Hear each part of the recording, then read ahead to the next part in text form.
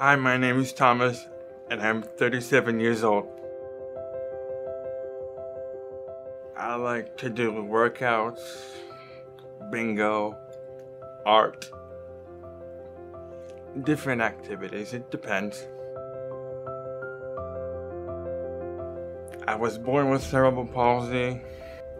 For the people that don't know, that's tightness in the muscles, which means that I have to be in the wheelchair pretty much all the time. That's a hard one because not everybody that lives here needs care, but I do. I need help during the day, which is not easy, but I I push through the day. It's nice to have help, but I would like to try to do as much as I can by myself. So Thomas is, first of all, he's charming. Look at him. What a wonderful guy. He's uh, the epitome of strength and courage. I believe is one of the big talking points of uh, kind of why we're here. And I've been working with Thomas off and on for about two years now. Um, some of the things, great accomplishments that we've done with through physical therapy, through his hard work and determination. Um, he's up walking and uh, taking on the challenges of uh, further weight bearing and uh, unlocking some potential through you know all the exercise we do together, um, the massage, the the stretches, everything to help him kind of return the function and gain some new function. Mm-hmm. And uh, he's been doing a wonderful job with that. Well, Thomas is a person of persistence, and I've always had high expectations for Thomas. And I can say every single time he surpassed those expectations. Probably Superman and Batman. Okay, why you pick them? Because they're strong.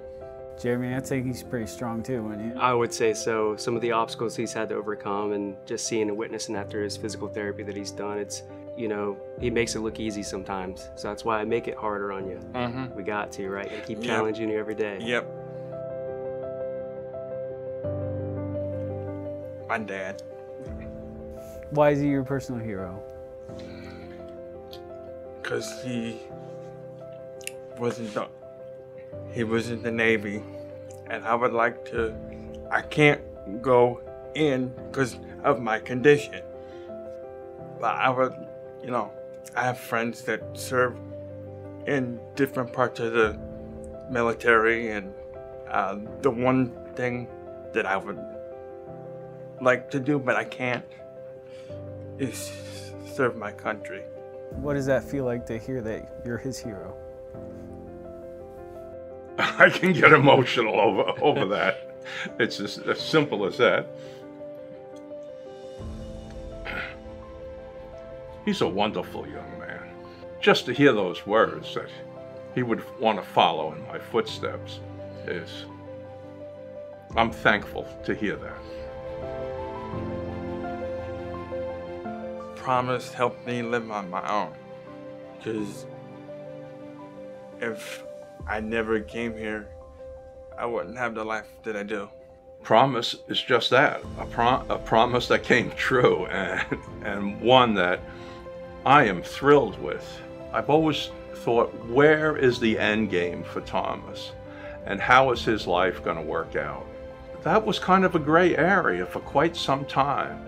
And it was only when Promise came to be and he moved in here that I saw the expectations and the better life that Thomas could have in a, in a safe environment, but one that challenges him to be, well, like the Army says, all you can be. So I'm, I'm very happy with, with Promise. I, I can't find the words that say thank you enough. Uh, thank you very much. And if it wasn't for you, I wouldn't have a place to go.